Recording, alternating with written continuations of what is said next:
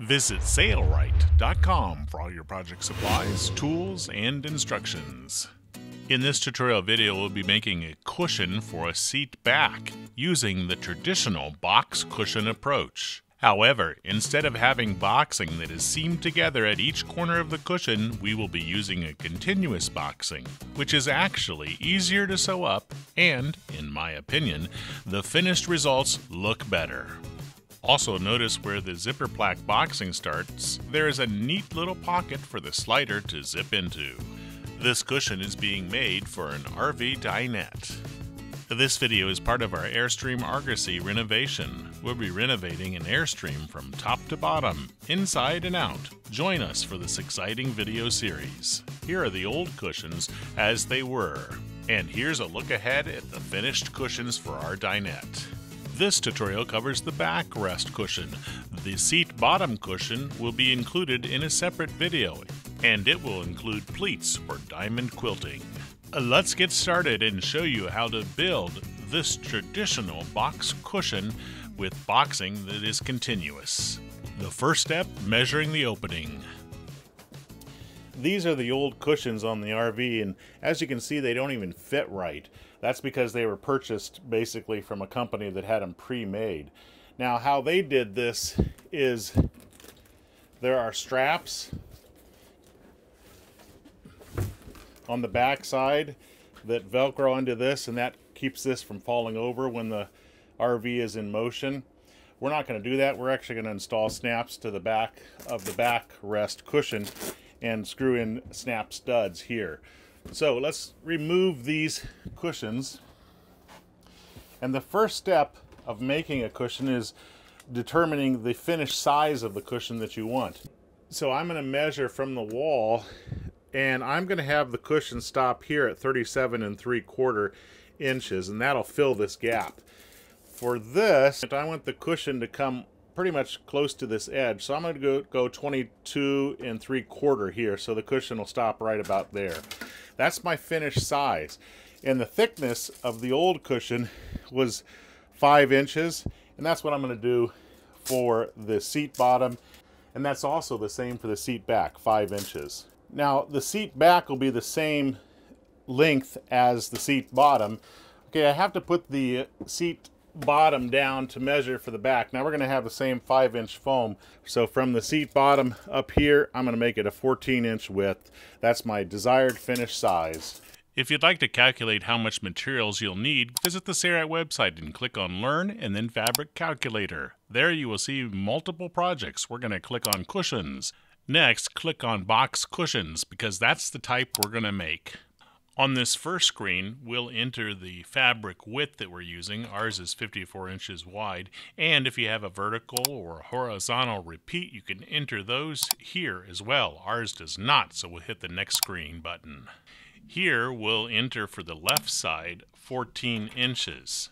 For the front side, we'll enter 37.75 inches for our cushion, and for the thickness of foam, 5 inches. Notice that side D, the right side, is automatically filled in, assuming that it's a rectangular cushion, which most are, including E as well, and the diagonal is automatically calculated. If you have an irregular cushion, you can change those measurements. Next is boxing length. Seamed means there'll be seams at the corners of the cushion, whereas continuous will have no seams at the front two corners. It does take more fabric, but we believe it looks best. So we're going to select continuous. It's now time to add the cushion by hitting the Add Cushion button. The calculator will automatically scroll to the cushion that it just placed on the fabric rendering shown in gray. And we can use our mouse and click on each one of the plates to move them in a position that's great for nesting. We can do the same with the zipper plaque and the boxing. If your fabric were patterned and you want the pattern to run down the boxing, you could rotate your boxing so that it matches the pattern. That is not necessary with our cushion, so we're not going to do that. Notice for one cushion, we need a little less than two yards of fabric. And if you scroll back up, you can see the list of materials with the needed amount to complete that cushion. Add a cushion and it'll automatically recalculate, or delete a cushion and it'll also recalculate. We actually need two cushions, so we're going to add a cushion. No need to enter your measurements again, it keeps the same measurements you entered. If you were making a different size cushion, you would just alter the measurements above. Now we can nest those panels for optimal fabric usage. After everything is nested in the appropriate spot for the best cloth usage, you can scroll down and see exactly how many yards you'll need. We need a little more than 3 yards. If you select on continuous boxing, it will use more fabric, but we believe it looks better and is easier to construct that type of box cushion. Cutting foam is next. We're going to cut the foam a quarter inch larger on all sides, just as the fabric calculator says. So we are making our foam a half inch larger in both the width and the length. And when the cover is put on it, it'll be compressed slightly. So that's why I'm marking the foam a half inch bigger on those two dimensions. This is the backrest. And a backrest doesn't have to have a firm foam. In fact, a lot of times people like a medium or even a soft foam on the backrest. A backrest does not need to be a high density foam, though it can be without issue. Usually it's a medium density foam because it doesn't see much compression. We're going to be cutting the foam with two different tools. This is a Serrate blade foam saw and it's by far the best tool for cutting foam. However, it's a little bit expensive. You can actually just use an electric kitchen knife like this you can get at a uh, department store and it does cut the foam as well, but you have to be careful to make sure that you hold it straight up and down. First, we're going to demonstrate the electric uh, kitchen knife and we're going to hold it as straight as possible and cut the foam with this. Notice that I'm using the edge of a table here to try to keep that blade up against it. This is a sacrificial table. Let's talk a little more about foam from Sailrite. The higher the density of the foam, the longer it will last if used often. If the foam is not going to be used often, a medium density foam can be used. A high density foam can be soft, medium, or firm in feel. The same goes with the medium and low density foam. And there's what the cut looks like. Now see I'm a little bit off down here. So I'm going to try to straighten that out a little bit. That's the problem with using one of these. You have to be pretty diligent about keeping it against the edge of the table. So I have cleaned up that edge a little bit because I wasn't very straight. And you may say, well, that doesn't look very good, but it's not going to really matter. It's going to compress pretty nicely. You can use, there's a tool that Sailrite's going to be making soon that looks like this. This is a prototype. You can use something like this and you could actually um, sand down the foam if this bothers you. And this uh, actually does a pretty good job of straightening out problems like that. It does make a mess. So until we have one uh, that's like this from Sarah, it'll probably be a different color. You could actually just use a uh, cap off of a jar and punch holes in it with a nail to make this uh, similar scraper for foam. The Serrate blade foam saw has a base to keep the uh, cut almost perfectly vertical. Let's also discuss the features of foam regarding IFD, indentation force deflection. That has to do with how soft the foam is. How soft you want the foam is always up to the end user.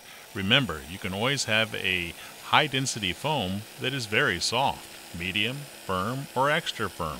Remember, density will have to do with how long the foam will last if it's used often. A low density foam, if used often, will bottom out quickly. This is actually a very nice cut here, but uh, if you if you get something that's rather jagged, again, you can shape it nicely with this tool that is coming soon to Sailrite. In this chapter, we're going to be cutting the bottom and top plates to size. Okay, this is cushion underlining material. This one is rather inexpensive and you can kind of see through it, which allows the air to uh, uh, go through the fabric. This one is called Super Grip cushion underlining material. It doesn't move at all, as you can see. This stuff moves a little bit. It's a little bit tacky. For our application, we're putting this on top of wood and we have a trim piece beside it, so this is going to work great. This is a little bit more expensive, but if I had a really slippery surface like fiberglass, this would be the cushion underlining material I would pick. I'm using the Scriball pencil and I'm just marking the corners. We're going to make the bottom plate the exact same size as the foam. You may be asking, after the half inch seam allowance is taken up, won't it be smaller? Yes, that's intentional. Now for the any contour, I like to just trace very close to the edge of the foam. So this bottom plate and the top plate will be exactly the same shape and size as the foam. So when the half inch seam allowance is taken out, it'll compress the foam, making the cushion look great.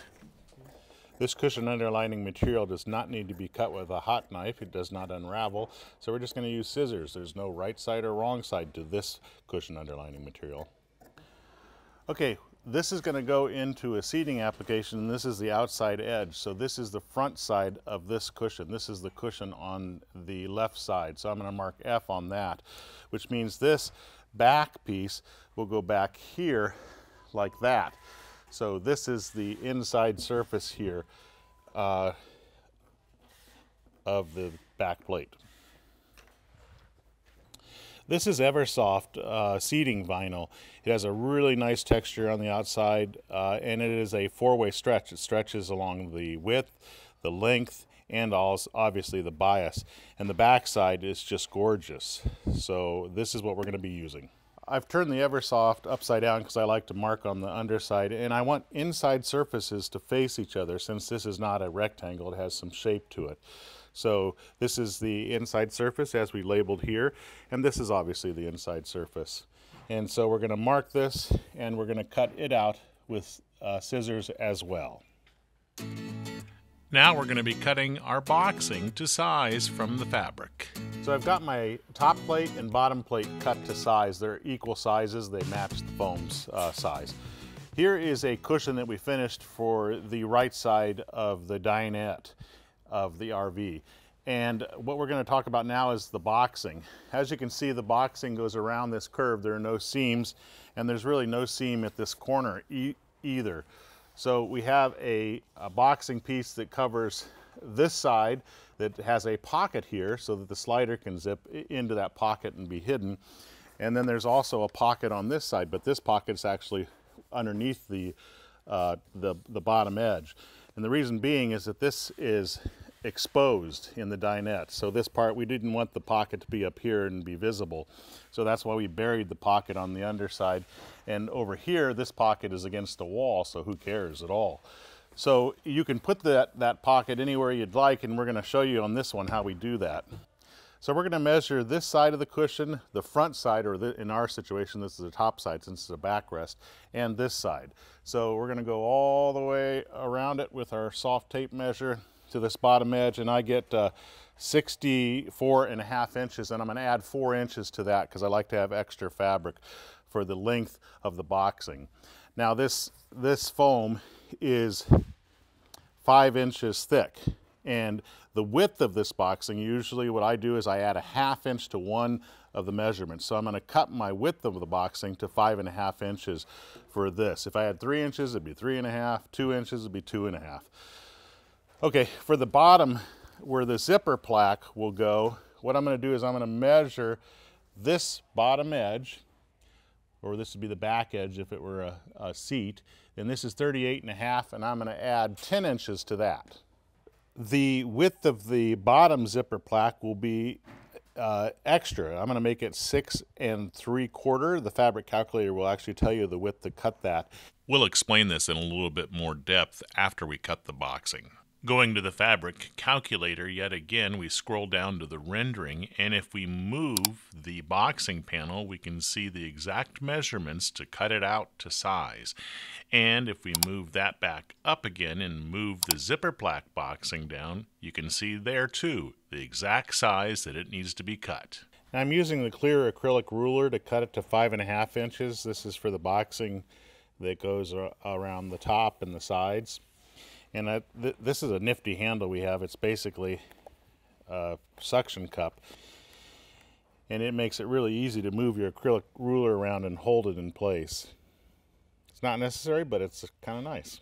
Now, a continuous strip of uh, boxing, like we're doing here, does use more fabric because you have to have a continuous length of uh, fabric. If you create uh, separate strips of boxing pieces, you don't use as much fabric, so you, but you do have the seams at typically the corners. So it doesn't look as good, and it's a little bit harder to turn the corner.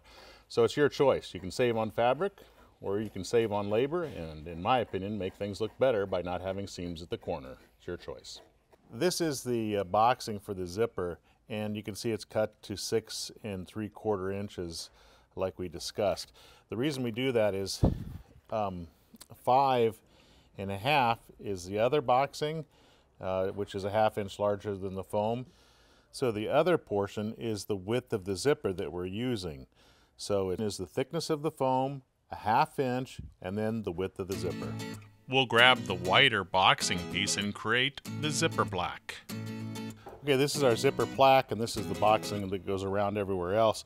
I want to take the zipper plaque, and I'm going to fold it in half and mark where the center is on the wrong side of the fabric here. I could also just measure it too. But now what I want to do is I want to strike a line at the center position there. So I'm going to put it on there and strike a line all the way down it, and then we're going to slit it in half with scissors. Now we're going to mark a line uh, one and a quarter inches from that cut we just made on the underside of our fabric. And we're going to do that to both strips. Now on both this edge and this edge, very close to that raw edge, I'm going to put a quarter inch Seamstick for canvas and upholstery. This makes applying zippers very easy. Our double-sided tape is by far better than anything out there. It is an acrylic base glue, not a rubber, so it will not yellow. Get it from Sailrite. We're going to flip these over like that. And notice the Seamstick is on these two edges and we're going to put Seamstick on these two edges in the same manner like we did before. Very close to the raw edge. Now we're going to peel off the transfer paper, revealing the glue. This is the zipper. We've already cut it to the length with slightly a little bit extra on each end by about a quarter inch or so. It doesn't really matter. This is a coil zipper. You can see there are teeth on top here and on the bottom side the teeth are not exposed. Uh, we're going to separate the zipper and we're going to take one half and we're going to make sure that the teeth are facing down against the outside surface of the fabric and we're going to uh, have this ex extend over the edge by about a quarter inch and we're going to match it up to the edge of the vinyl being very careful not to stretch the zipper because the zipper can stretch so I am being diligent to put it on nice and neatly and we need to do that to both halves because if we stretch one side then the ends will not be even when you're done. Teeth go down, same thing. Now we're going to take this one and we're going to flip it. And I like to have it so the Seamstick is facing me. I think it's easier. And we're going to peel off the Seamstick on this side, the underside. And I like to start in the middle. You don't have to. And we're going to baste it to that line that we struck. So it's right on top of that line, going to the left or the, or the right or the right or the left, doesn't matter which way you go. And we'll do that to the second strip as well. So we're going to take our zipper plaque, we're going to put it next to the presser feet so the teeth are not uh, on top of the press of the teeth, but right beside it. Then we're going to take our magnetic guide and we're going to put it on like this so that it's right up against the zipper's teeth. And that way I can just sew super fast. And I'm not going to do any reversing because it's going to be stitched the other direction later on. And I have my machine set to uh, six millimeter straight stitch. And we just sew, keeping the teeth right up against the deluxe five and a half inch magnetic guide.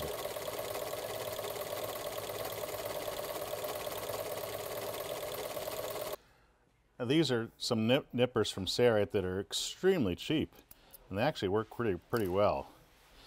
Now here's our end result. You got a stitch nicely into the flange of the zipper And we have a beautiful looking zipper plaque. Now we're going to do the exact same thing to the second one.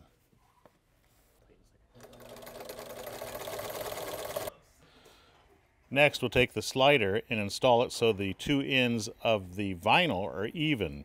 So I'm going to start it on this one and put, push this one on. And the ends are even here. It doesn't matter about the zipper, it matters about the vinyl. Then we're going to zip it all the way through the zipper plaque and off the other end. Why do we do that? Well, we want that slider to be in the middle and we want the two ends to be closed. Then we're going to open up this end and reinstall the slider yet again in the same manner. Then we're going to leave the slider in about that position or in the middle, doesn't really matter. So we want the width to be equally the same or very close to the same. And I am a little bit proud here. I might actually trim this away. I'd rather have too much than too little, but I think I'm okay because I, I, can be off by about an eighth inch on each end. So this is acceptable for me.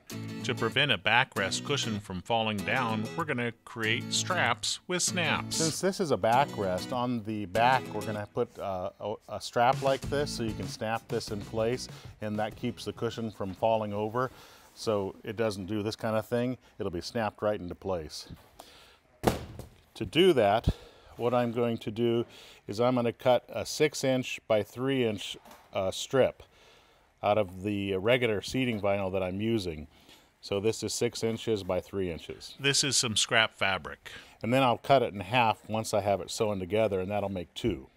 Now it's always best to use Seamstick on this or pin it in place, but I, I don't like putting pins in vinyl um, because it'll move around when you take it to the sewing machine and sew and this double-sided tape just makes it so that it stays right in place. Get away, get away, get away. Go away. Okay. So now I'll fold this to all pretty much the halfway position. This is, there's no real science to this. And then I'll put Seamstick here. So you just want it to be a strip that's thick enough to reinforce the snap and yet looks good on the outside surface. So this will be my underside. So I fold it over so that this won't really show in my finished results because this will be the outside surface. You can sew this with a straight stitch, but I put it in a zigzag stitch and I'm going to sew in about a four millimeter, three millimeter uh, zigzag stitch right down the middle. And I won't do any reversing. We'll take this six inch strip and fold it in half which will basically make a three inch strip, which is plenty for a snap, and cut it with scissors. Okay, so now we have this side, which I really want to be the bottom side up against the, uh, the, the uh, back plate, and this one. So we're going to put a hole in it right in the center. You can use any kind of hole punch. This is an eighth inch hole punch, and we're going to put it right there and in this one as well. Doesn't matter if you cut your thread, so don't worry about that. Okay, we're going to put the button on the side that has that extra fold of fabric. So right through there, we're going to put it through the hole. We're going to put it on our little uh, base here and put the ant. Oops, we got to put the socket on top. Put the socket on top of there, then the anvil, and then we give it a few blows until the barrel is rolled nicely into the snap. So that snap is installed. We'll do the same thing with the second one. I'm going to put the Seamstick on the two edges like this on both pieces.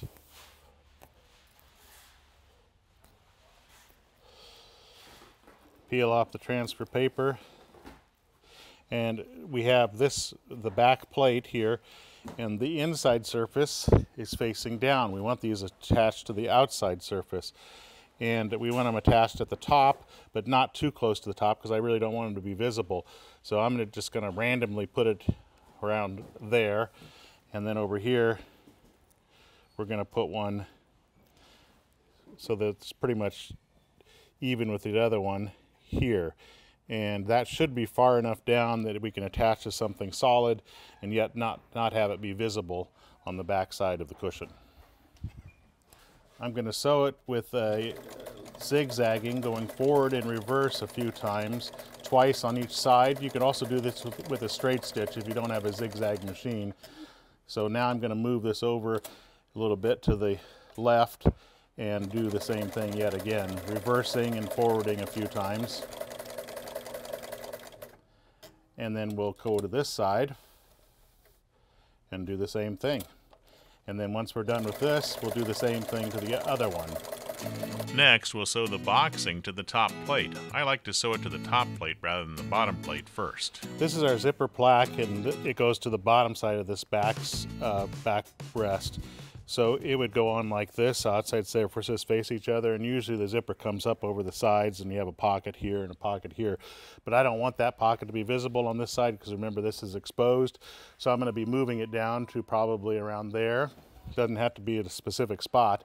But we also need to consider what's the best way for sewing. I like to sew with the boxing on top of the plaque. It's just easier for that. So I need to think about where's the throat of the sewing machine. Well, if this is a sewing machine and this is the throat and this is where the needle is, sewing in this direction all the way around will give me the best uh, advantage to sew the boxing on top. So I want this boxing to be attached to the end of the zipper here so that it can continue on and I can make it easy for sewing. Okay, here's my regular boxing. Here's my zipper plaque. My zipper is a little bit too long. I'm going to match up the vinyl edges and I'm going to make sure it's straight across here. And I'm going to sew approximately a half inch from the edge going over the zipper as well and doing some reversing. I'm going to put it straight stitch, maximum stitch length.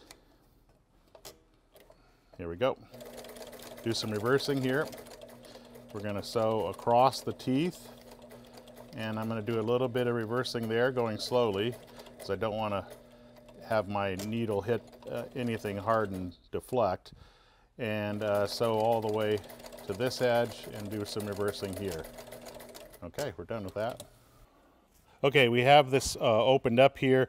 We have this end sewing on. I'm going to make a pocket here, and I like to make my pocket, doesn't have to be this way, but I like to measure from the uh, cut edge two inches over and place a mark here, and that's where I'm going to have this fabric fold over to create a pocket for my zipper to slide into. So at around two, two inches there. That means over here, if I've got my uh, pocket uh, or my zipper plaque already cut to size, I'm going to measure over two inches here.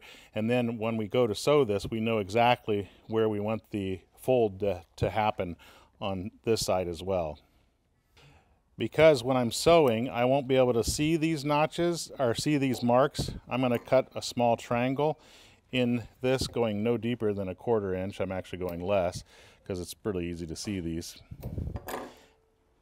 There we go. Okay, so we're going to fold this right to that line over here. And we're going to make sure that it's uh, matched up to this edge because I'd rather have this tight going up and down than loose and I'm going to sew not at a half inch but more like a quarter inch from the edge because I don't want this stitch to show up. I'm just tacking it in place. So I'm just going to do a little bit of reversing there. That's all that's required for that. And then I'm going to um, go to this side and I'm going to do the same thing at my mark. So I'm going to fold it to that mark and I'm going to pull a little bit uh, this direction to make sure that it's closed up nicely and I'm going to sew a quarter inch at that position from the edge.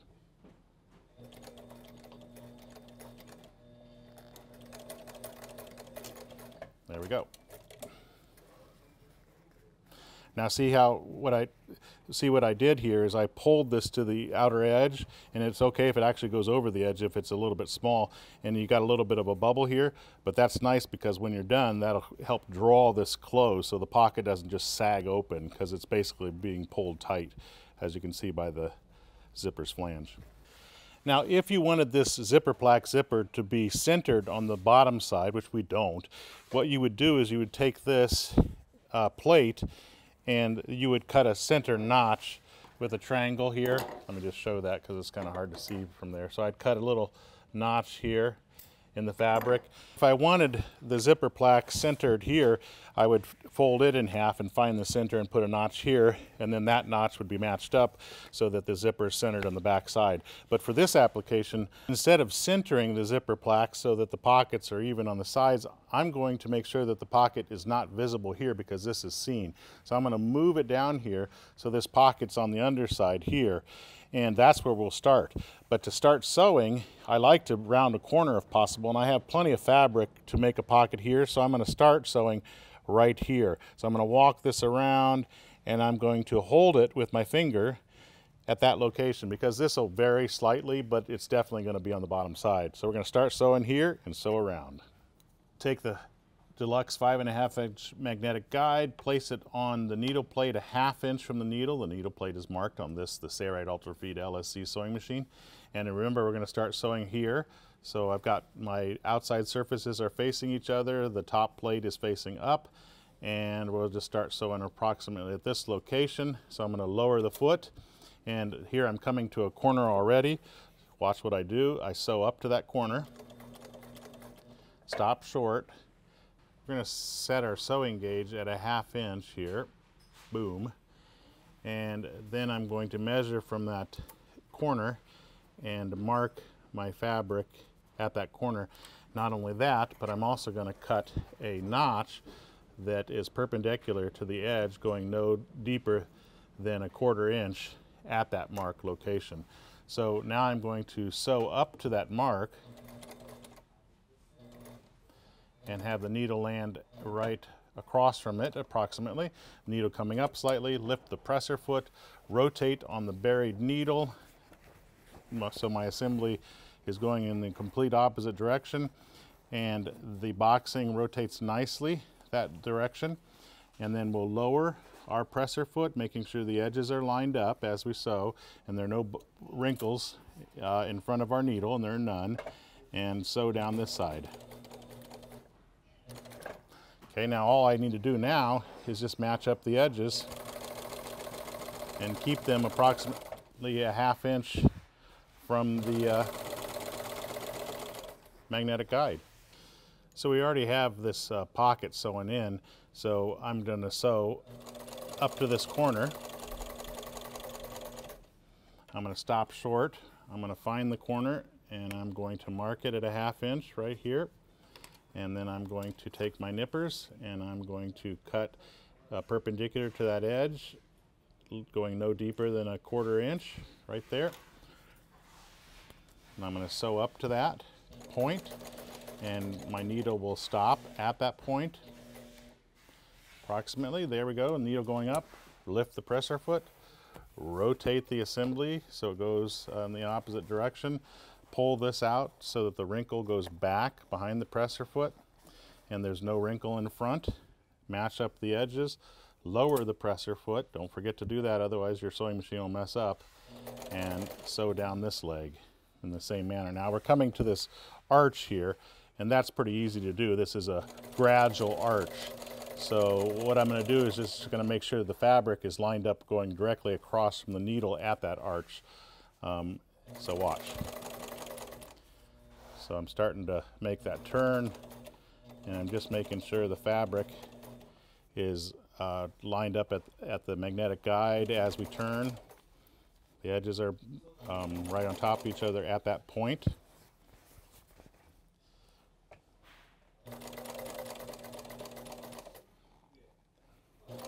Nice, smooth transition.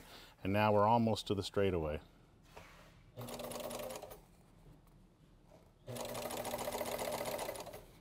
And we'll just keep going around like this.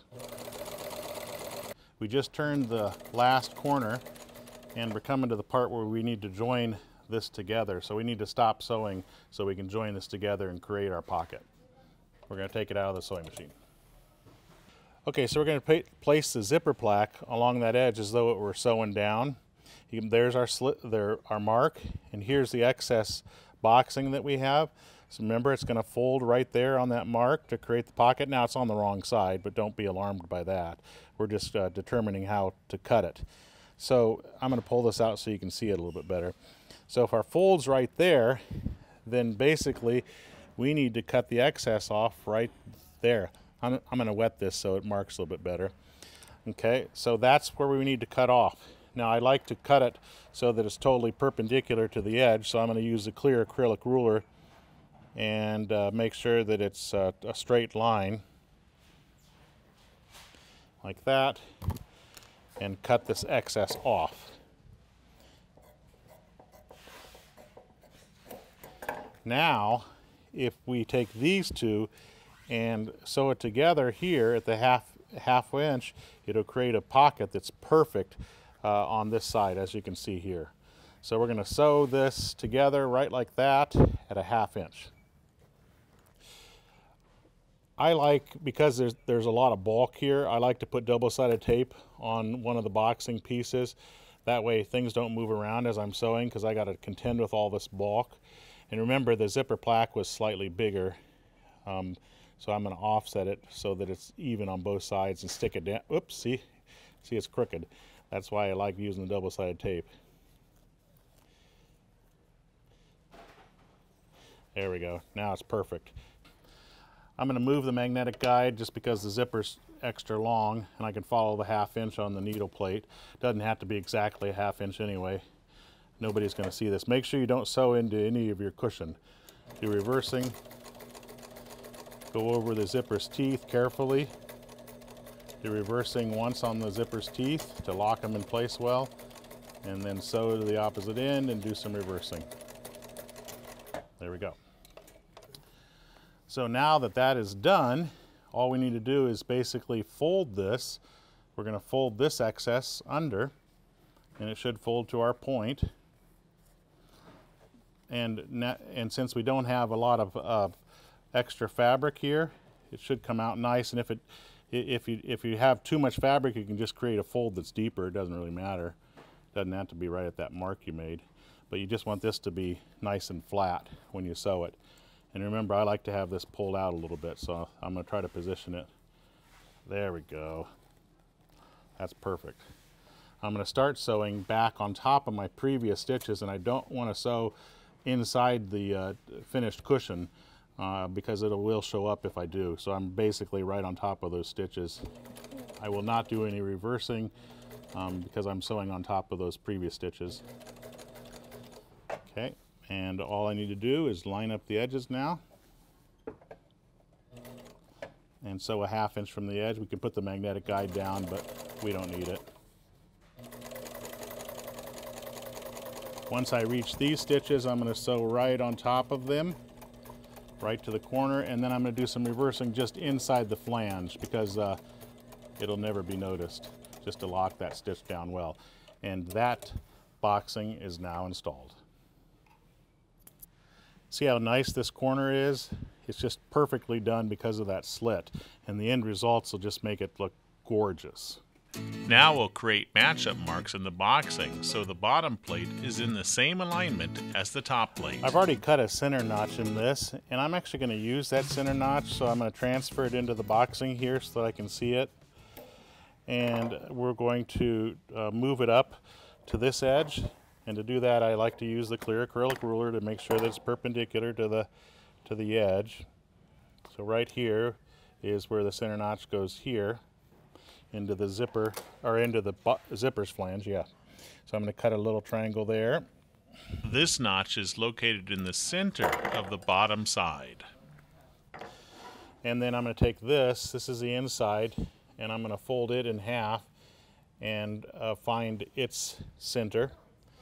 Um, creating notches like this, especially for big cushions, is important so you, that you make sure that your, um, your back plate is sewn onto the boxing so it's not skewed. And then at the corners, what I'm going to do is I'm going to hold the fabric up so that I can find out where, the, where this matches up to here and create a fold. So I am basically looking down and, and also having it fold right at that point.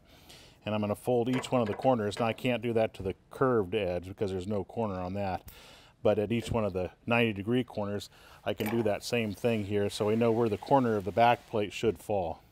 So we're going to do that to all these corners. To sew the bottom plate on, what I like to do is I like to start as close to this as possible um, so that I can sew around it. And if, if I'm off, I can make adjustments to this pocket. So what I'm going to do is I'm going to find the center here by folding this in half so that the corners are directly on top of themselves. And we'll cut a little notch here. So that's the center. And we'll find the center of this one by folding it in half and cutting a notch here. Now we know exactly where this should fall and we can match up that notch. Now, oh, we got to transfer this notch. I'm sorry, I forgot to do that. So I'm going to use my clear acrylic ruler and to make sure that it's parallel to that edge and transfer the mark to the outside of the boxing and cut a, a triangle there. Now we can sew the bottom plate to our fabric assembly. The outside surface of the bottom plate needs to face the inside. Okay, the notches are on top of each other. We're going to sew a half inch from the edge and we're going to try not to pull on one fabric more than the other as we sew. Now you've got all this balk down here. You want to make sure you don't sew into your plate, just your boxing.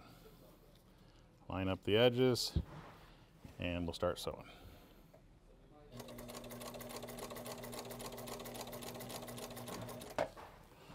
Okay, I'm already coming up to a corner here. So it looks like this notch is falling at the corner, so we want to cut into the boxing, not the plate, uh, going no deeper than a quarter inch. Remember, we already have a notch there, so you don't, don't want to cut too deep into it. That'll help it to take the turn. When we reach that point, which is right about right about there, bury the needle, lift the presser foot, pivot, and push all this fabric back and roll this around so it's 90 degrees.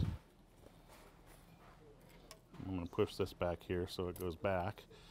And now don't forget to lower your foot and sew down this side.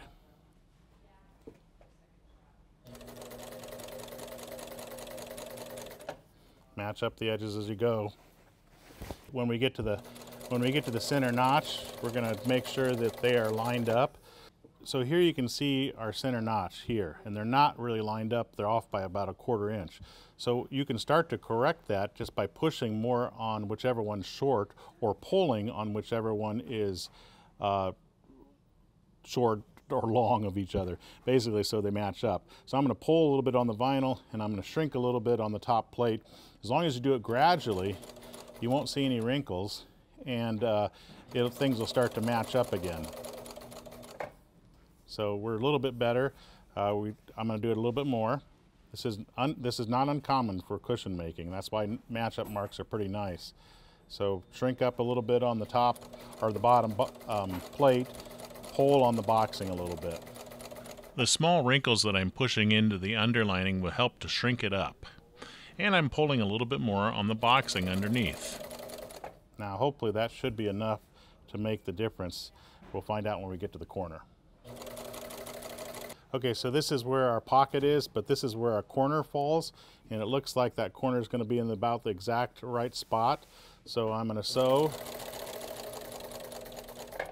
and then I'm going to cut my little notch in this because it looks like it's going to fall a half inch or so from that edge. It's a little bit shy of it, so I'm going to cut a little bit in this direction.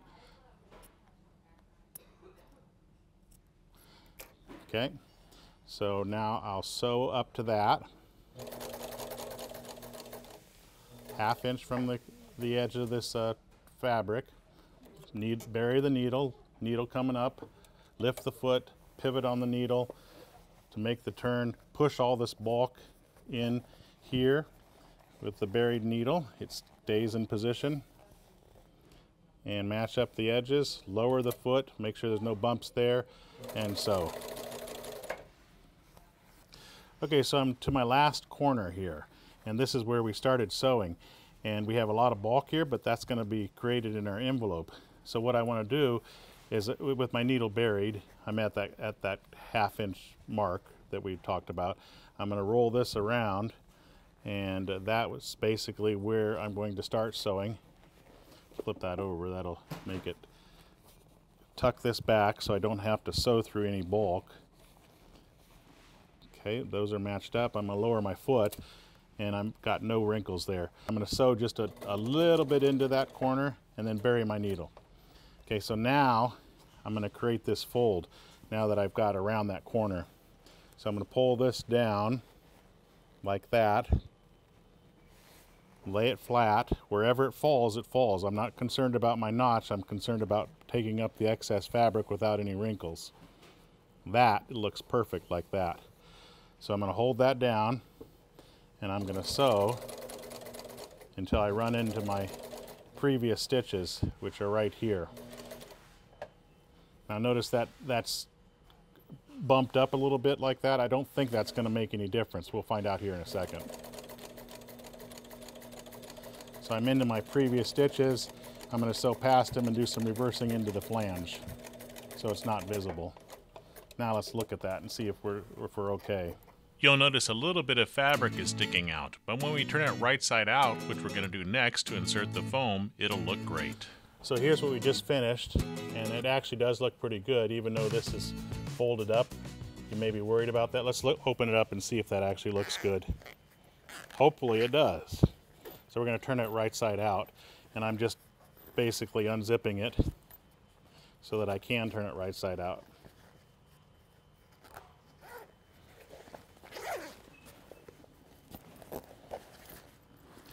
Okay, now we can inspect that. Let's push the corners out.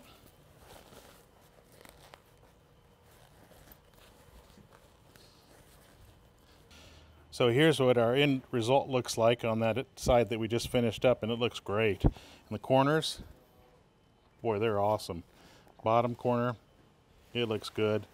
All the other corners look great too. So now let's insert our foam. This is silk film. And the reason that I used it, it just makes it easy to insert the, the foam into the cover because the foam sticks to the uh, material pretty easily. So I just wrap it up and I overlap it. I don't even tape anything. And then what you can do is you can use a vacuum um, to suck the foam down.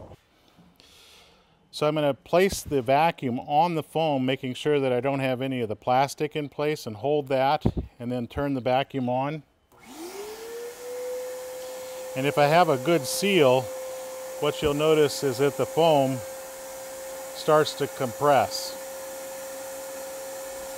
And you can actually compress it by hand a little bit to get it to compress on the sides that the vacuum's not at.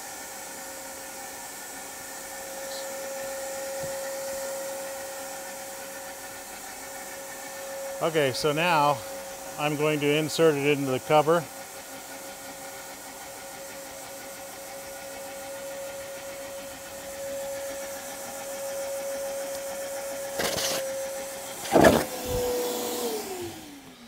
Once it's in the cover and the vacuum's released, it's going to expand pretty quickly. Well, there's no air getting to it yet, so it didn't really expand very fast at all.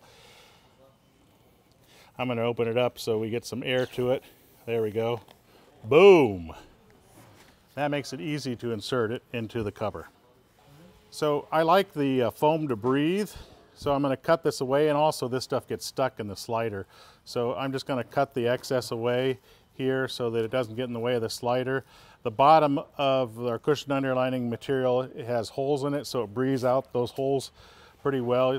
But uh, to make it breathe a little bit more, I may just push it back a little bit there. We have a zipper going all the way here, so I'm to push this in past the zipper so it doesn't get stuck in the slider like that.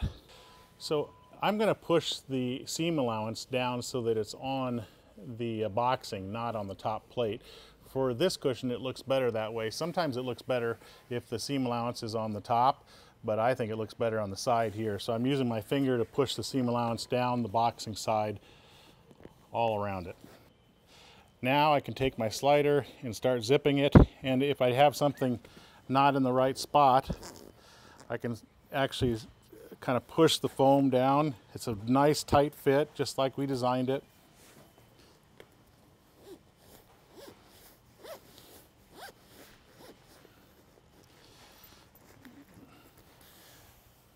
Here's the idea of the pocket. The slider goes inside that pocket and is not visible.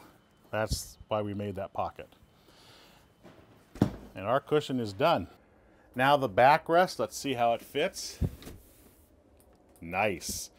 Now we still have to install those snap studs here. So what I'm going to do is I'm going to take a piece of chalk. You can use anything that leaves a little bit of residue.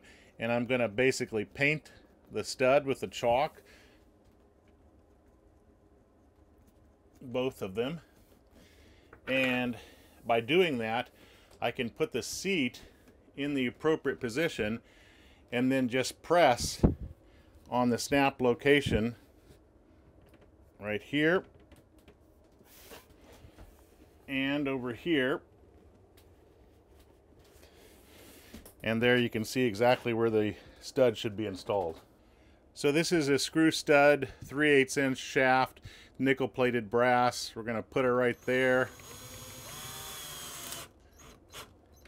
And we'll put one over there in the same manner. So how you snap this on, this is the reason for the tab is you can get your finger back here and then all you need to do is snap it to each one of the studs and now that cushion won't go anywhere when you're traveling. This backrest cushion is now complete. We'll also have a separate video showing how to do the seat bottom cushion with pleating. Coming up next is the materials and tools list that we used to make this seat back cushion using the traditional box cushion approach. We used a high density foam for the backrest, but a medium density foam would also have worked great for that backrest.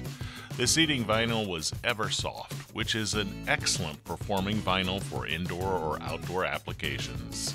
If you have any questions about the materials or the tools that we used, give us a call or email us. We're glad to help. Coming soon, we will show a tutorial video on making the seat cushion with pleating. Be sure to subscribe to be notified of new videos when they become available. If you enjoyed this video, click the link in the description below or at the icon at the top right to check out other projects in the Airstream Argosy renovation series. I'm Eric Grant, and from all of us here at Sailrite, thanks for watching.